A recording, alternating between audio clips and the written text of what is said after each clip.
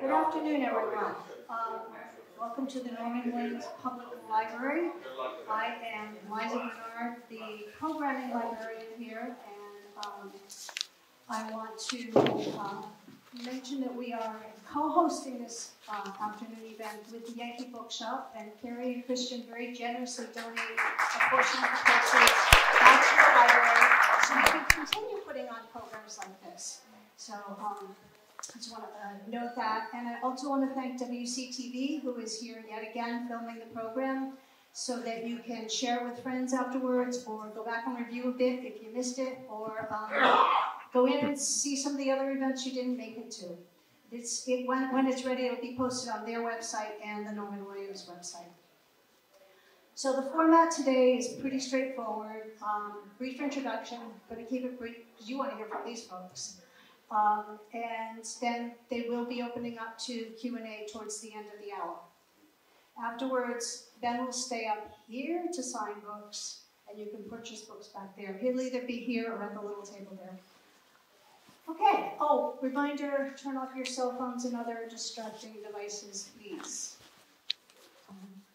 Okay, so, um, well, Tanya and Ben Mezrich live most of their time in Boston with their two kids and two dogs. We are very lucky to have them as part-time residents here in our community in Vermont. Tanya Mezrich attended Tufts University where she studied French literature, art history, and eventually dentistry. she established her own jewelry and clothing lines, opening the first Boston Fashion Week tent with her clothing, clothing brand, Mike and Tom. This led her to be tapped as a resident fashion and style expert at NBC Boston and to co-host the TV show Style Boston, as well as create and host the popular Boston's Red Carpet, both on NESN. For the past year, she's been the lifestyle editor of Boston Magazine, where she writes and shares stories and insights. With Ben, she has penned a series of books for young readers, the most recent being Charlie Numbers and the UFA, UFO Bash, which came out this past uh, late summer. Uh, one of the books in the series, Charlie Numbers and the Man on the Moon, was chosen as the required summer reading for all the sixth graders in the Boston Public Schools, which is quite a, quite a um, accolade. Hmm. The su success of the books has attracted the attention of Ellen Pompeo from Grey's Anatomy, who plans to develop them into an exciting movie series. Stay tuned. Hmm. Ben Mezrich is a very busy man, also. In addition to writing for young readers, which I just mentioned, he has published two dozen best-selling books over the past 20 years and helped turn several into hit movies.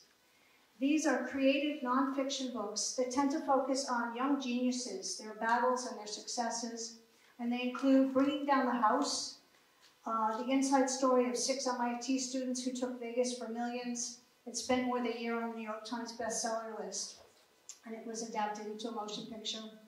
The Accidental Billionaires, the founding of Facebook, A Tale of Sex, Money, Genius, and Betrayal, spent 18 weeks on the New York Times list and um, was adapted into the movie The Social Network, which was, uh, it garnered eight Oscar nominees and won three, and also three Golden Globes. And uh, Ben uh, shares the prestigious Scripter Award for Best Adapted adapted screenplay for that one. And then there's a, another one called The Antisocial Network, which is now uh, entitled Dumb Money, the GameStop short squeeze of a ragtag group of amateur traders who brought Wall Street to its knees, which was also made into a movie starring Pete Davidson, Seth Rogen, and America Ferrera. Ever a writer on the cutting edge, Ben's new book, Breaking Twitter portrays three years of Elon Musk's life and involvement in the social media platform beginning in April 2020, which is now, as we speak, melting down. so without further ado, please welcome our guests, Tanya and Ben Mezrich.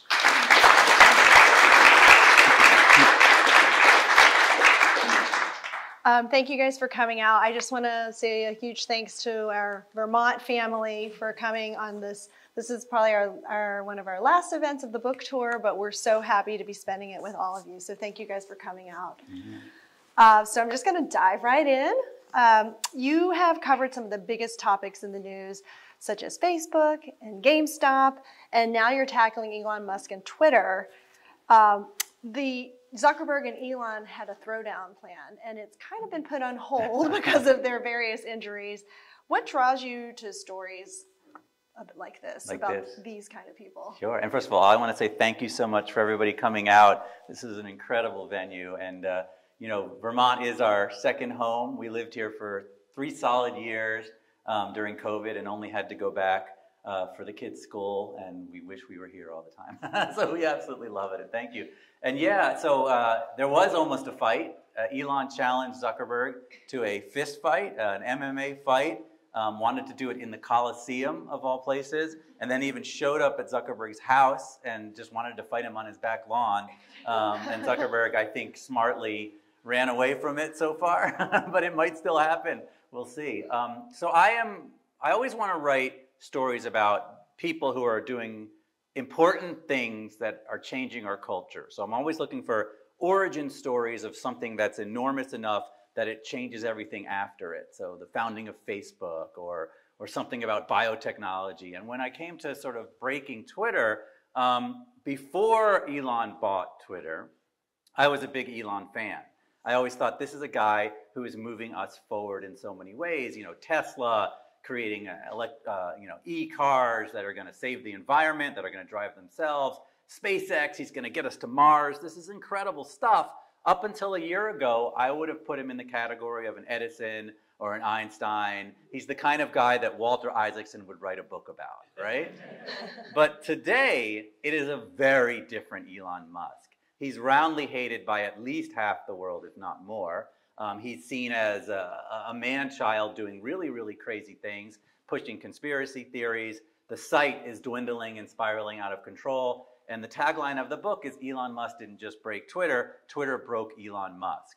So what really drew me to this story was this drama of a man who was really reaching heights that nobody really has reached before and is now brought incredibly low by his own actions. And we've either revealed him to be who he always was, or he's dramatically changed over the past year. And that's really what the story is about. So I write narrative nonfiction, I write thrillers about real people, but I write it in a cinematic movie style. And so for me, this was a movie coming to life in front of us.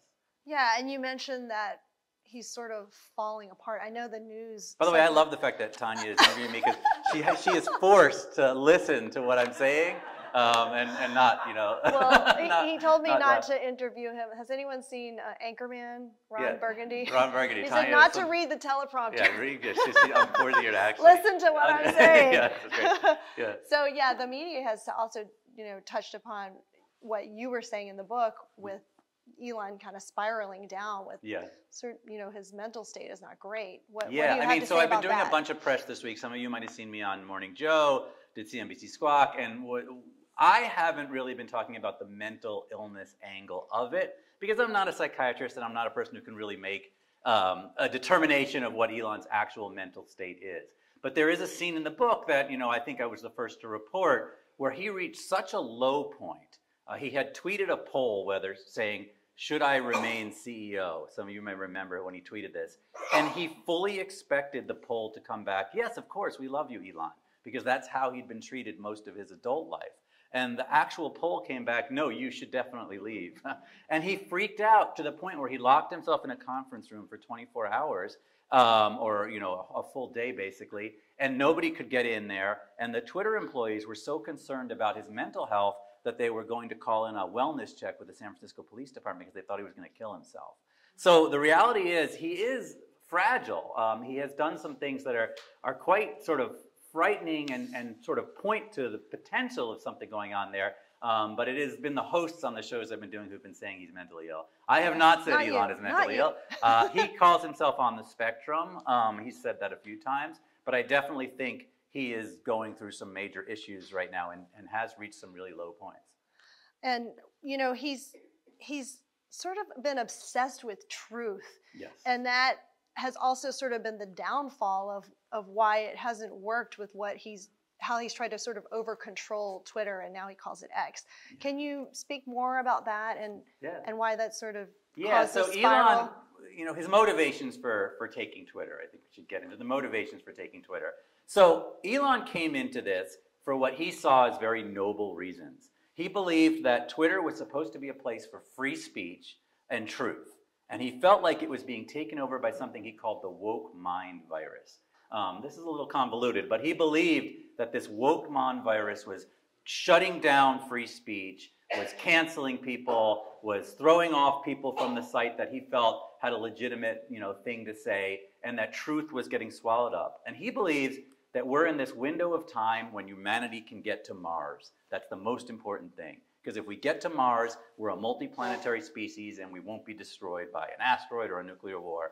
Um, and so he felt like if Twitter disappeared, um, then we would lose this opportunity to get to Mars. It's a little convoluted, but that's really what he believes.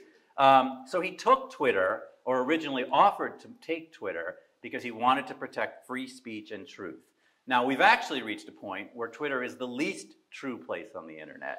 It's a, it's a, it's a disaster of a site full of lies and hate and anti Semitism. Um, advertisers don't want to be there anymore. It's financially in a disaster point. But he came into it because he felt like he was doing the right thing. But then a series of things happened that affected him personally that drove him to this place where it became the direct opposite of what he was trying to do.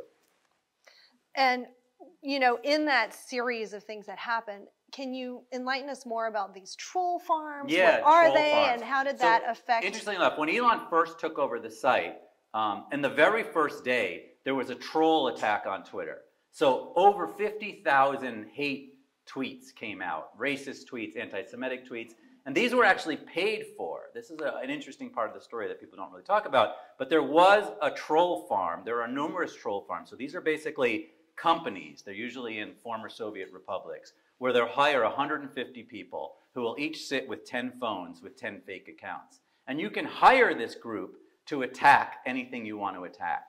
Um, they'll, they can spew hate, or they can go after a political person, they can go after a company. It's basically pay to order trolls who will go on the internet. It's not automated, it's not bots, it's actually people. And there was a troll attack on Twitter the first week that he took over. Um, now, Elon's responses have been very bad to this. He wants to get rid of the bots, which is probably a good thing, but his belief in free speech, which is ideologically a good thing, actually becomes a very difficult thing when you're running a, a social network that's full of trolls because you can't really allow all this horrible speech on there and keep advertisers. And so from the very beginning, it became a battle. All of the advertisers wanted to leave the minute he took over. The first thing he did was he did this horrible conspiracy theory tweet where basically Paul Pelosi was attacked with a hammer.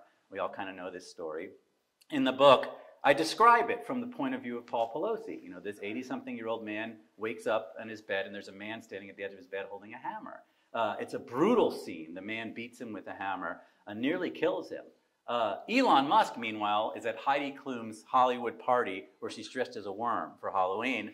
He's running around this crazy party. He comes out and then he tweets this conspiracy tweet. He retweets a conspiracy, the idea that it was some sort of gay tryst that led to Paul Pelosi's beating. It's a horrible tweet. It's a horrible thing to tweet. He regrets it very quickly afterwards, and he erased the tweet. But not before all the advertisers see this and just start leaving Twitter, because nobody wants to advertise next to this garbage. And this is the beginning of this cycle of things that happen, and that's the first step. He starts to go, nuclear, you know, thermonuclear, Elon calls it, where he threatens his advertisers on Twitter, saying, if you don't come back to Twitter, I'm going to name and shame you and get my followers to go after you and boycott you. This is not good behavior of a CEO of a company. It doesn't work out for him. And then the next thing that happens um, is he destroys the blue check system. And we can, you know, I don't know if you have, I know you want to, I, I know your script. You I have my the- script, Yeah, but yeah. you can get into the blue check. Yeah, Yeah, get into the blue check controversy so- because I think that that you know drove a lot of people crazy, especially Mm-hmm. a lot of uh, you know the media, and the- Intellectuals, the, intellectuals, the So celebrities, it used everybody to be on Twitter, crazy. and I know you all kind of remember this. Is some of you use, some of you don't. Uh, there used to be a system where they gave blue checks to people they considered journalists, educated people, intellectuals, celebrities, uh, poli- politicians, and sometimes they sold them. I mean, there was some corruption in the blue check system. It was very weird how you got one. Suddenly, you would just wake up and you would have a blue check if you were, you know. How did you get yours? I think you got it for me. if you have a wife like Tanya, you might find a way to a blue check. Um, but what was good about the blue check system is it vetted people. You knew that someone who had a blue check was the person they said they were. So if you were talking to um, AOC uh, and she had a blue check, you knew that was actually her, as opposed to a random person claiming to be her. And so you would go on Twitter and you might want to read about a plane crash. And you could find real pilots and you could real, find real engineers and real scientists. Or you want to read about COVID. And this is where it gets a little crazy. But at the time, you could go on and see a real, you know, biologist from Harvard talking about it. And you knew they really were who they said they were. Um, Elon decided this was not fair. This was not egalitarian. His real motivation is that he hates journalists uh, because he's at war with all the journalists who attack him and a lot of blue check people were journalists. So he wanted to get rid of journalists as a class from Twitter. So he decided the blue check from now on will be $8. You buy a blue check and your posts are going to be boosted. So instead of vetting important people who might know something, we're now giving anyone who has $8 the chance to say whatever they want. From an egalitarian point of view, this is great. Everyone can say what they want. From a website point of view, it's horrific because if you look at Twitter now, all of the comments that you see right away are the worst comments. They look like they're written by my 13 year old. They're full of hate and, you know, yelling. Not that my son is full of hate, but I'm just saying teenagers write a certain way, and a lot of the internet now looks like it's written by teenagers. Um, and there's not a lot of intellectual stuff going on. And so, even though it is leveling the playing field by getting rid of an unfair system, it replaces it with a complete circus. Um, the way it was launched was horrible. The day it launched, all of these fake blue check people came up playing, pretending to be real people. So Eli Lilly's official blue check site suddenly said, insulin is free. And there was a, a George Bush going on, let's bomb the Muslims, right? And then there was, there was a, a, a yeah, Mario Kart uh, with his middle finger up, right, from the Nintendo site. It was thing, I have them all in the book, but they're just hysterical. There was like, I forget, McDonald's did something. There were all these fake sites doing crazy stuff.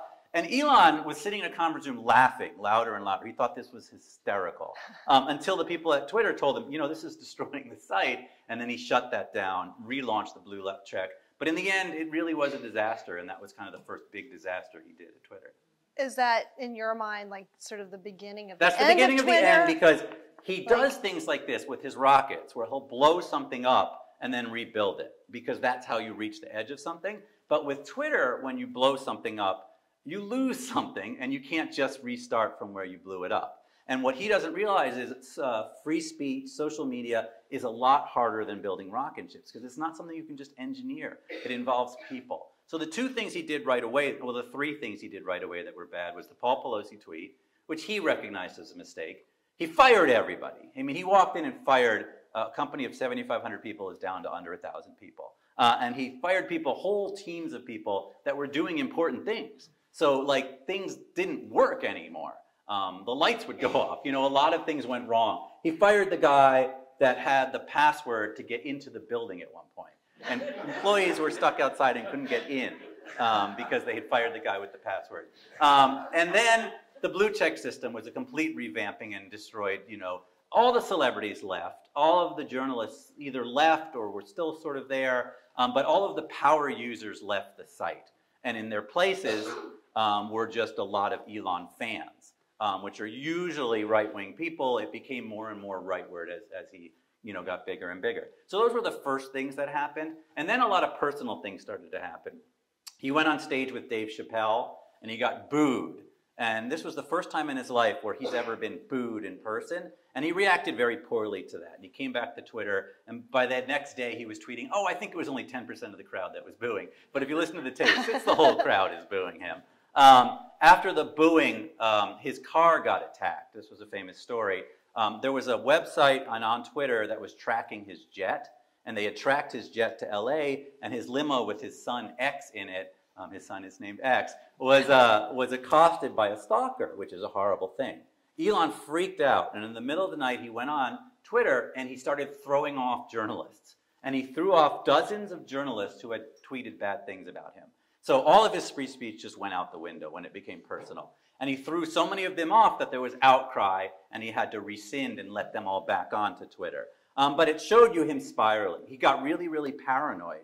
And he started to make a rule. He made a rule at Twitter that no more than two employees were allowed to gather together at a time.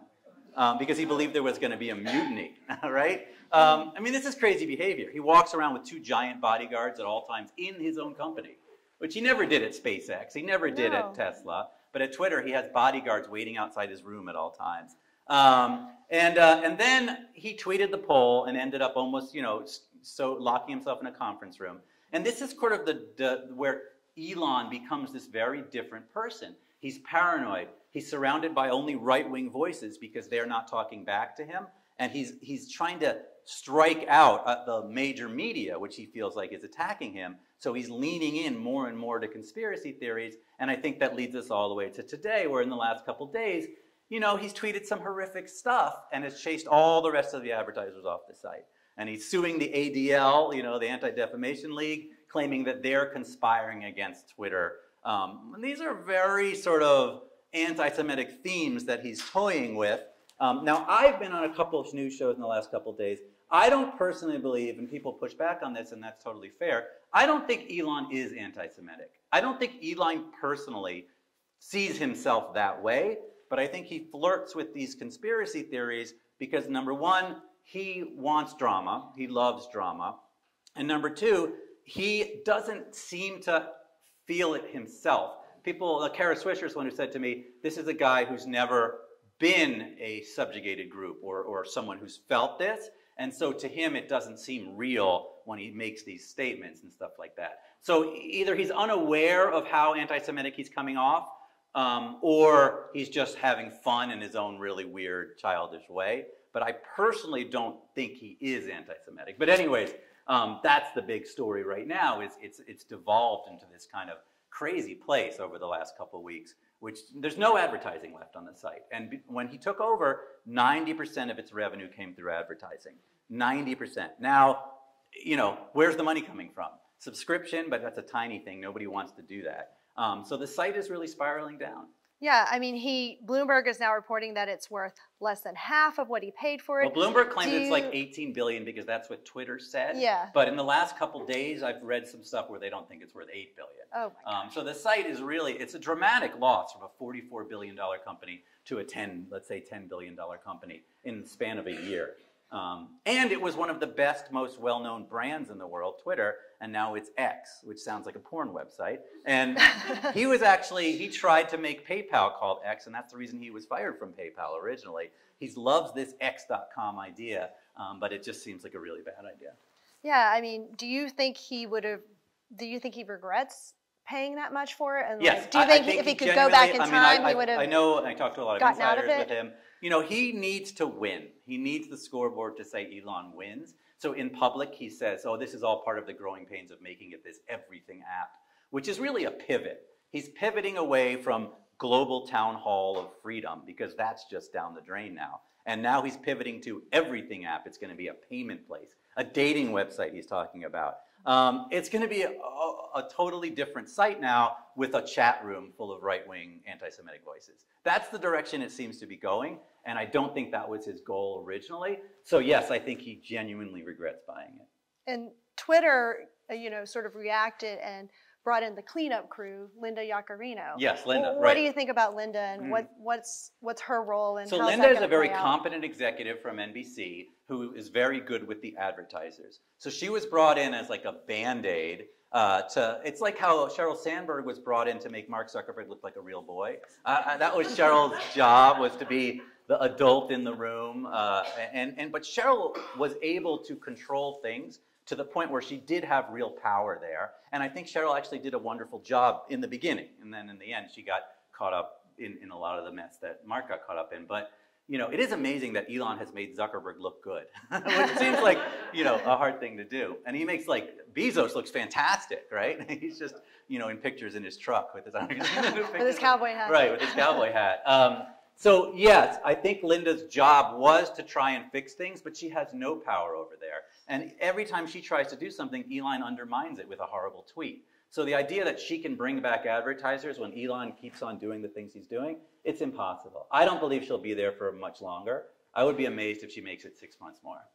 Yeah, and but like, she took an opportunity. I mean, it was an opportunity to become CEO of a major company, but I think she'll regret it too because I think her re reputation is going down the drain as well. Oh yeah. Elon's taken everyone down. everyone down right. um, so when he took over Twitter in the beginning, he was more left leftist or even centrist, but now I would say completely. he, was, he called himself centrist, but he definitely was an Obama voter. He was a supporter of Biden. Um, you know, he was making electric cars, so he should have been, you know, seen very well by, by the Democratic Party. However, the Democratic Party had always had problems with Elon um, and wasn't fair to him around Tesla, in my opinion. Uh, they never really saw Tesla as the important thing that it was. They were always pushing Ford's electric car or, or someone else's electric car, not realizing that Tesla was surpassing everybody in this industry. Um, they should have been way behind him more than they were. Um, but now, yes, he has shifted way, way right. And I've seen him in interviews where he'll say, Well, I'm just moving center, but it appears right to all of you because you're all on the left.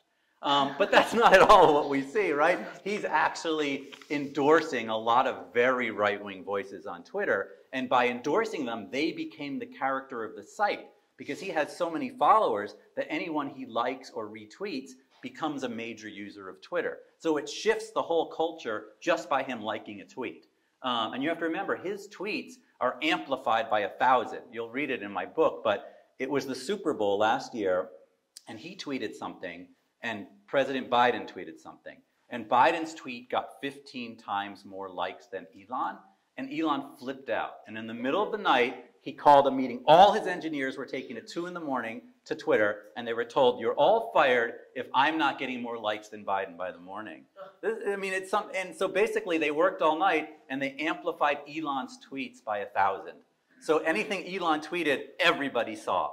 Um, and that's, that's again, but, part that, of this that of isn't that sort of against free speech Yeah, in a I mean, way? Like This is the thing tampering about the free the speech algorithm? argument, and then there's so much of a free speech argument going on. Elon is not for free speech um, when it comes to him personally. I mean, he's going to sue the ADL. He's going to sue Media Matters now. Um, he wants to amplify his own tweets. The idea of free speech is a beautiful thing, but in practice, free speech always has guardrails, especially on the internet. I mean, again, I go back to having a teenage kid. I have a teenager, and he does not have free speech in the house, right? He can't just say whatever he wants. We've all, a lot of you have raised teenagers. And the internet is full of teenagers. It just is. Any site that has more free speech turns more and more ugly because there's tons of trolls and there's tons of people who just want to spout hate. And if you allow that in, it just becomes an unusable site very quickly. So the idea of free speech is wonderful and important to support, but what it means is journalists should be able to say what they want as long as within certain boundaries. There's no such thing as absolute free speech anywhere. And I don't think a site like Twitter can run a, if it's absolute free speech. And Elon knows this. And he himself will throw people off Twitter if they say things that he doesn't like. Um, so he's not a free speech absolutist any more than anyone else is, but he likes to use that as a weapon when people criticize him. Yeah, like tell us a little bit about shadow banning and, Yeah, and the algorithm and how to like that to so me doesn't one of the like concepts that Elon uses, but he didn't invent it. It actually came from previous people. Is the idea of freedom of reach, not freedom of speech. So you can say what you want on Twitter, but maybe no one will see it. Um, in the past, it was advertisers who made a lot of that determination. If something wasn't going to be palatable for advertisers, no one would ever see that tweet. Um, but now the algorithm is a little more complex than that. Um, there's something called shadow banning, where you might tweet something and it will only go to certain numbers of people. Um, it's very it's very mercurial and it's very hard to know what's really going on. But the idea is there's no such thing as a level playing field. There's no such thing as sort of freedom on the internet. And it's a private company, nor should there be freedom on a private company. I mean, they have some level of control of what they allow on their site. But the idea is um, you, it can't just be a free for all, or it can't function that way. So in a way, the way they're tinkering with the algorithm Mm-hmm. is sort of like its own simulation. Simulation. And can you speak a little bit about how Elon lives his life as if he's in a sim and I like this segue. It's good. It's a good segue. Um, so Elon believes in something called simulation theory, and this is a big part of the story. Elon thinks we're all living in a simulation. It's one giant video game. And simulation theory, as crazy as it sounds, actually has an interesting mathematical basis. Um, do you want me to tell you the math? So basically, the idea is, is that as civilizations progress, they make video games uh, or they make movies that seem more and more real.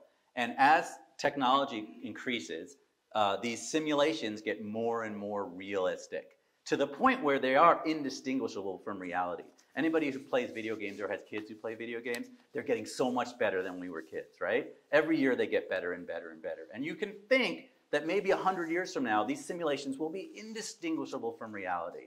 But the thing is, civilizations don't just make one simulation, they make a near infinite number of them because it just takes computing power. So you make millions and millions and millions of fake worlds that seem like the real world.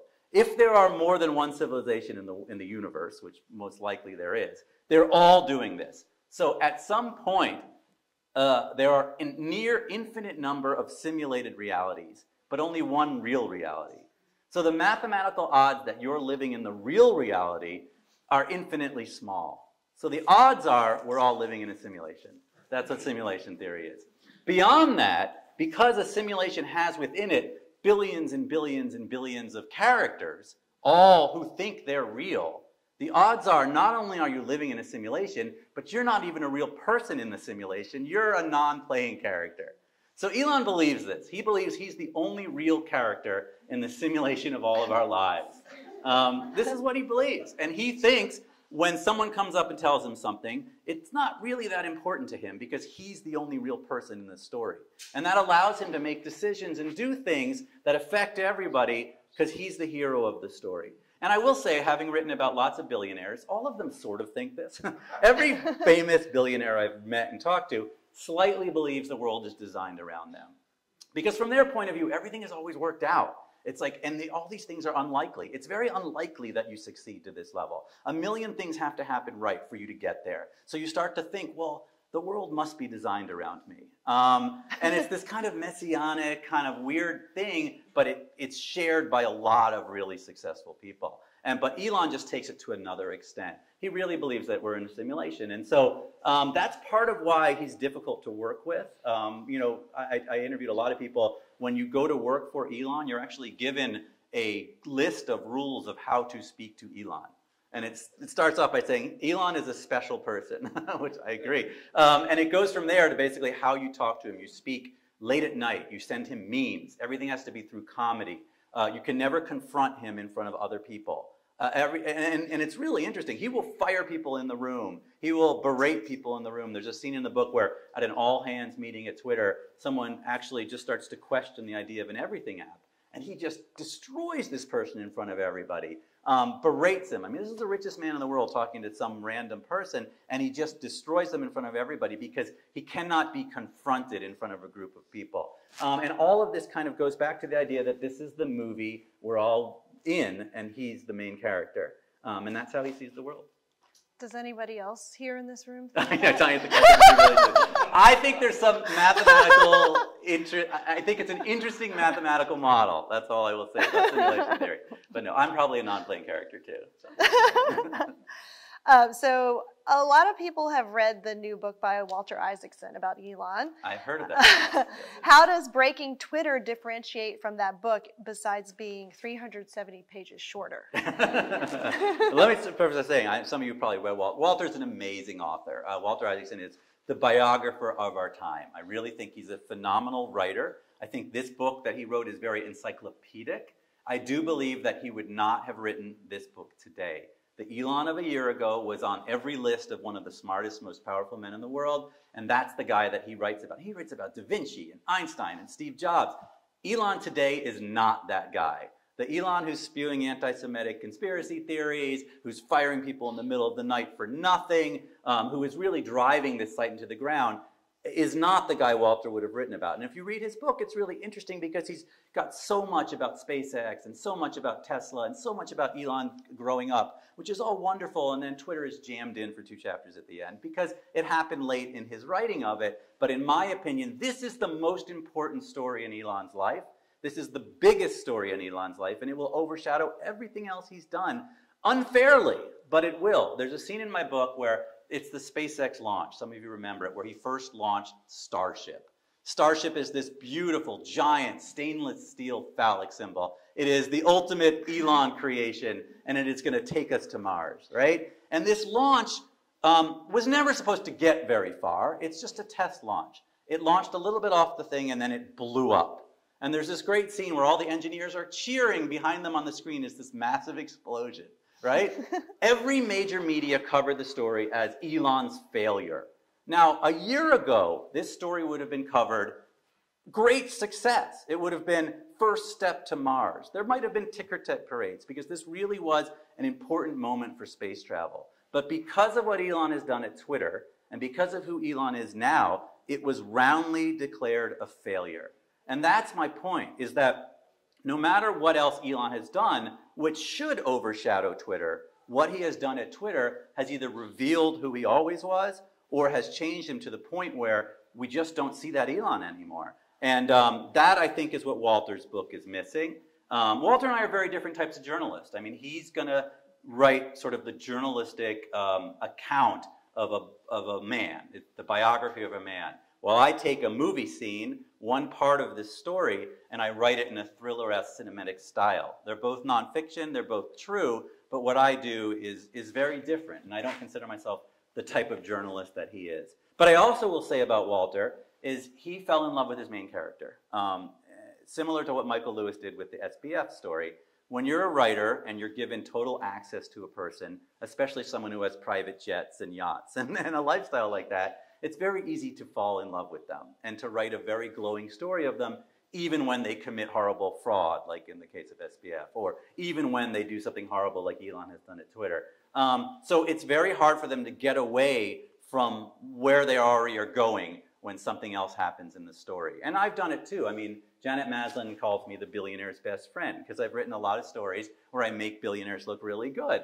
Um, when you're given the keys to the city, you often write the story the main character wants you to write, and it's very hard to not do that. And so this is why I often say when you are approaching a story like this, the least credible source is the main character.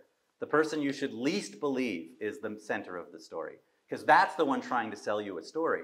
When I wrote the book that became The Social Network, Zuckerberg spent a year refusing to talk to me. We'd go back and forth, back and forth, and in the end, he knew he couldn't control what I was going to say. If he had talked to me, The Social Network would not have been a great movie. it really wouldn't if I had listened to him, because his story was, yeah, I came up with an idea. That's not the actual story, but that's how he sees the story. And he doesn't see the Winklevii twins, and he doesn't see Eduardo or any of the other characters in it. And similarly, Elon is just telling the Elon story, and Walter just wrote the Elon story. Um, so I don't fault him for that. That's, that's what happens when you write a book like that. But I think my story is, um, is more cinematic, and, uh, and we'll see how that goes. Yeah. Yeah, and speaking, not to get off topic, but speaking yeah. of cinematic, in Dumb Money or the Antisocial Network, that's sort of how you constructed the story. It was from, you know, you had these five characters from different walks of life, and can you speak a little bit more about how that brought that story together? Of Dumb Money? Yeah. Should we talk about Dumb Money? Yeah, for a hot, hot second, I think we could. I know a lot of you have seen Dumb Money. A lot of you are here for the last thing. Yeah. Dumb Money is a great story. If any of you see it, it's now available on digital, and it's the GameStop story where basically the world went crazy for a few weeks, and a whole bunch of people bid the price of GameStop to the point where that company was worth as much as GE. And um, it was a battle of regular people against Wall Street. Um, but I really told it from the point of view of, of a bunch of different people who had bought into it, and then a bunch of the hedge fund people who were, you know, on the wrong side or on the bad side of the trade. Um, but it's a dramatic sort of telling. It's what I do. It's I go inside the story and I try and talk to as many people as I can and find where the sort of dramatic and Shakespearean arcs are.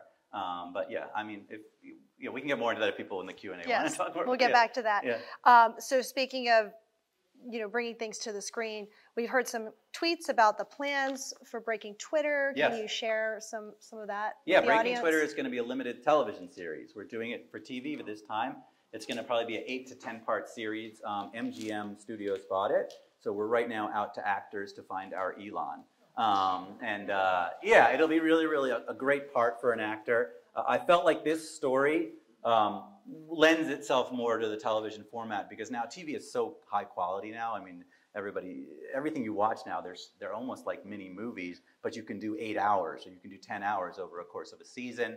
Um, and this one, quite frankly, could be multiple seasons because it's continuing. Uh, um, but yeah, we're going to launch it as a television series, um, and it'll end up either like on Netflix or on Showtime or HBO. We'll see once we get our Elon. And I, I want Ben Affleck. I think is our first choice because I think he's, you need someone big. Elon is a hulking guy. He's very large. Um, we were talking to Sacha Baron Cohen, the actor, who's a phenomenal actor. Um, Brendan Fraser's been brought up, but my guess is he'll end up in the in the more um, Walter Isaacson style movie version of it. Um, it'll be neat because there'll be a TV Elon and a movie Elon, uh, two different types of projects, but ours will come out way before the other one, so it'll be interesting to see. Yeah. And um, just a couple more questions, then we're going to open it up to the audience. Um, can you talk a little bit about your writing process and how you're able to You could talk Write- about my writing process. yeah. in Um, such a short amount so I write very quickly. Um, a story like this, um, I'll write a proposal first. So usually an eight to ten page treatment or proposal, which I will sell to Hollywood. Then I will sell that proposal to a book publisher, and then I will dive in first with the research, um, which can take anywhere from three weeks to longer, depending on how involved the research is. Um, and then an outline, and then once I've got an outline, I write the book in about 10 weeks or 11 weeks which is not something I recommend to any of you. If you're any of you are writers out there, this is not something that you should do unless you really want to hurt yourself. Um, but I, I write six to 10 pages every day. Um, and if it takes an hour, my day is done in an hour. And if it takes 10 hours, my day is done in 10 hours. And I always tell young writers or writers out there, um, don't write by time, write by page. Um, because if you say, I'm going to write 10 hours today, you, you're not going to get anything done. But if you say, I'm going to write three pages today, well, you might have a short day, you might have a long day, but that's your goal every day. So always write by pages, and I've done this my whole career. And at this point, you know, I've written 25 books. Um, you know, I know it sounds like a lot, but people only really read two of them. But I have written 25 books, um, and my process has been honed to the point where I really can start and finish a book within three months. Um, so from the idea to finished book is three months, and the movie is sold before I write the book. So there's a screenwriter already working on it. There's a studio, and it doesn't mean it'll get made. 99% of things don't get made, um, but it gives you a much better chance of something actually getting to a screen. Um, yeah, and so my process is really frantic and insane, as you know. Yeah. Um, Tanya is a big part of my practice. I, we always start sitting. Um, we used to go to the food court in the Prudential Center, but they took away our food court and put an Eataly in, it's too fancy for us. But we will sit at lunch and go through sort of the idea of how how we're going to develop it. So she's a big part in my coming up with the outline. But for me, the outline is everything. The outline is like the skeleton, and after that, it's just putting the flesh on the body. The skeleton is by far the most important part. My outline is so detailed that I know the page number of every chapter, and I never miss by a page. So literally, the outline will be 50 pages long, um, and then the book is just filling that out to 300 pages. You're like the Michael Jordan of writers. Right, exactly. Just like that. No, but I, I'm, I'm, I've honed a practice over many years. I will say what's interesting is I hand in the book and there's almost no editing. Um, I don't re-edit it. I write one draft and it goes in, and there may be a few little things, but there's no real rewrite. Um, which is over the years I've reached that point because I know what they're going to ask for. So while I'm writing it, I already know what the editor would want changed before I hand it in. Um, so yeah, I mean, it's it's just how I do it, and it's the reason I think I've been able to cultivate a good relationship with Hollywood is because they know if a big story breaks, like right now the whole AI story is breaking, and I'm getting continuous phone calls because if I plant my flag and say I'm going to write a book, they know they'll have a book in three months, um, and that'll put them ahead of you know anybody except for Michael Lewis or Walter Isaacson. So basically, if Michael Lewis and Walter Isaacson don't do it, then I'm going to do it. But if the two of them are going to do it, then I step back and let them do it. Although you're faster than they are. I'm faster. I'm faster. That's one of the things I've got going for me. Um, so, so what, what's next in line for you? Yeah, I mean, I don't know my next book yet. We're making a television show out of this. My book, Once Upon a Time in Russia, that some of you might have heard of, about the Russian oligarchs who put Putin into power, that's going to be Peter Morgan's next show after The Crown. So it's going to be on Netflix. He's developing it now. He actually wrote it as a play already called The Patriot, which is going to be coming to Broadway. And um, so it's based on my book, and it will be a television show on Netflix. So that'll be really, really cool. Um, not really supposed to talk about that, but I just did. Okay, so. well, There forget go. you Uh, heard no, that. And um, uh, we're making a movie out of a couple of my other books. Woolly is one about the woolly mammoth coming back to life. A bunch of scientists in Boston are remaking the woolly mammoth. That's going to be a movie. Um, the people who are making the woolly mammoth are making the movie, which is pretty interesting. Um, and then, yeah, I'm, I'm, doing a documentary. I'm working on a documentary about um, uh, Geoffrey Kent, um, who created Safari Travel. He's a Abercrombie and Kent is the company. This man is like Errol Flynn. This guy has gone down the Amazon all the way, first man down the Amazon, first man into the pyramids, brought, uh, he's been in hostages, he's nearly died five times. His life is like a movie. So I'm working on a documentary about him. But I'm open, I'm looking for my next big book. Um, so I'm always keeping my eyes open if anybody has great suggestions. But, but anyways, hey, thank you all so much. Yes, thank you guys.